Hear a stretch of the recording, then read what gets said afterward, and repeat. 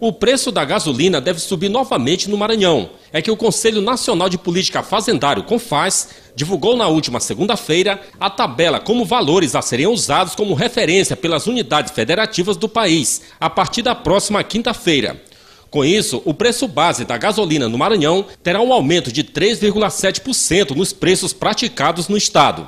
Nos postos de combustíveis de Santa Rita, a reação foi imediata. Seu Ribamar Dutra, que é taxista, com certeza deve afetar no preço das passagens com o aumento do combustível? Afeta, porque a gente não tem como aumentar o preço da passagem para o cliente. E a gasolina aumenta diariamente, está aumentando. Como é que você observa esse aumento abusivo? Rapaz, eu não sei nem quando vai parar, porque todo, quase toda semana aumenta o preço do petróleo.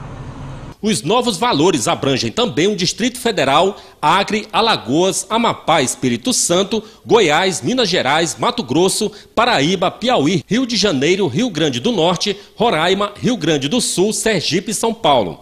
Um novo aumento no preço do combustível vai afetar diretamente no bolso de você, trabalhador?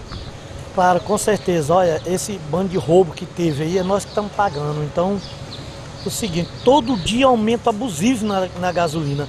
Eles estão coagidos, com medo dos caminhoneiros, o óleo não aumenta. Tá entendendo? E aí, como nós não temos como dar pressão neles, só aumenta a gasolina. Eu acho um absurdo, um exagero. Tá entendendo? Nós estamos pagando por isso tudo. Tu pode olhar, os fretos tudo vão aumentar. Os fretos vão aumentar, as coisas, o feijão, o arroz, tudo vão aumentar por causa do frete. Aí aumenta a gasolina. Tu tá entendendo aí? Para onde nós vamos se acabar desse jeito? Hein?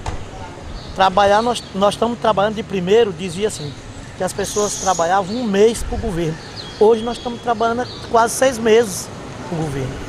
O Confaz alterou também os preços de referência de outros combustíveis. O diesel, por exemplo, aumentou em três estados e no Distrito Federal. No Maranhão, este valor teve um aumento de 2,4%.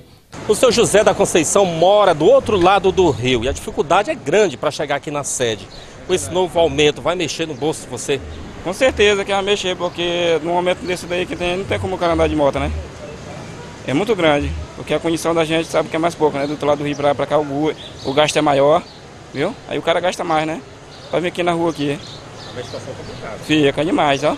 Aí você é um trabalho adequado? É, exatamente. A gente, né, nessa luta que nós mora para lá, que é, nós somos lavrador de roça, e fica um pouco difícil, né?